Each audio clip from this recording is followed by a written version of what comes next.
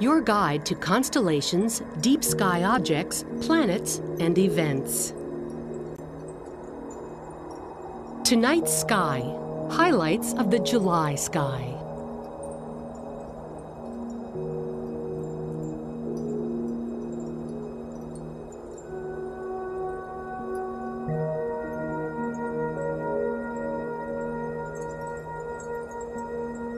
As the sky grows dark, Saturn begins to slip toward the western horizon, setting around midnight.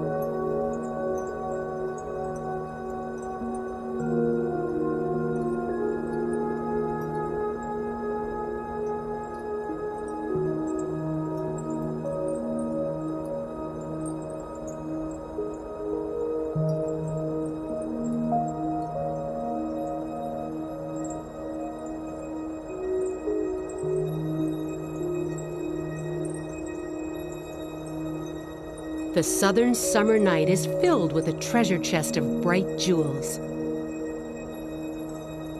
Scorpius is a striking constellation, one of the few that resembles the object after which it is named. The scorpion is easy to trace in the sky. Its head, curved tail, and venomous stinger are prominent. At the scorpion's heart lies a reddish star. Its color closely resembles that of Mars, known to the Greeks as Ares. Ancient Greek stargazers, contemplating these two crimson objects, named the star Antares, which means rival of Ares. A prominent and lovely globular cluster in binoculars, M4, lies just to the right of Antares in Scorpius. Globular clusters are collections of hundreds of thousands of closely packed and gravitationally bound stars.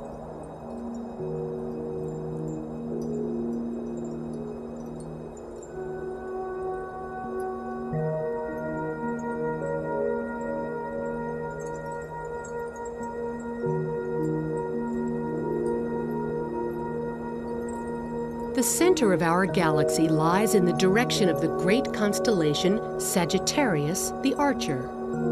This area of the sky overflows with stars, planetary nebulae, globular star clusters, and bright and dark nebulae. Look for Sagittarius by finding the group of stars commonly known as the teapot. The handle, top, and spout are easy to find.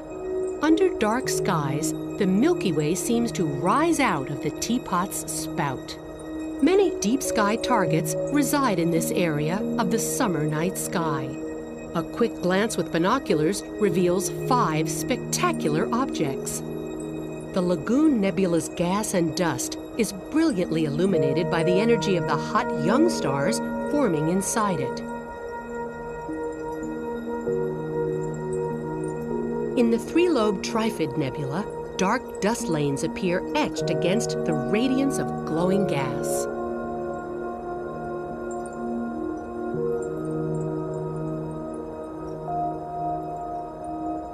The Omega Nebula glows brightly, but we cannot see its hottest stars embedded deep inside.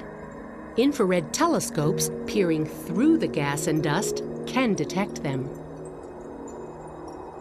M22, one of the brightest globular clusters in the sky, is visible to the naked eye. It is also relatively nearby, only about 10,400 light years distant.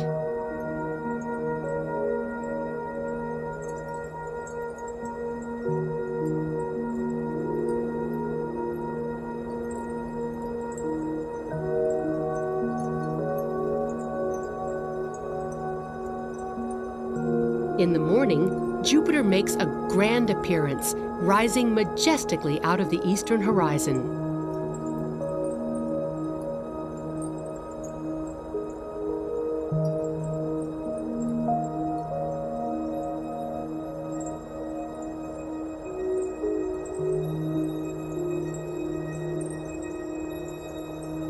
Mars follows about two hours later, with both planets gracing the sky just before sunrise.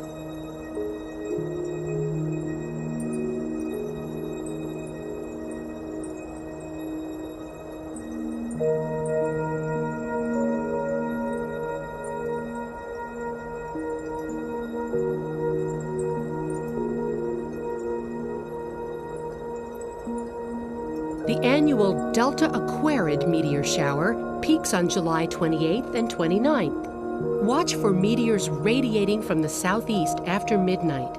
Expect to see about 20 small yellowish meteors per hour. The night sky is always a celestial showcase. Explore its wonders from your own backyard.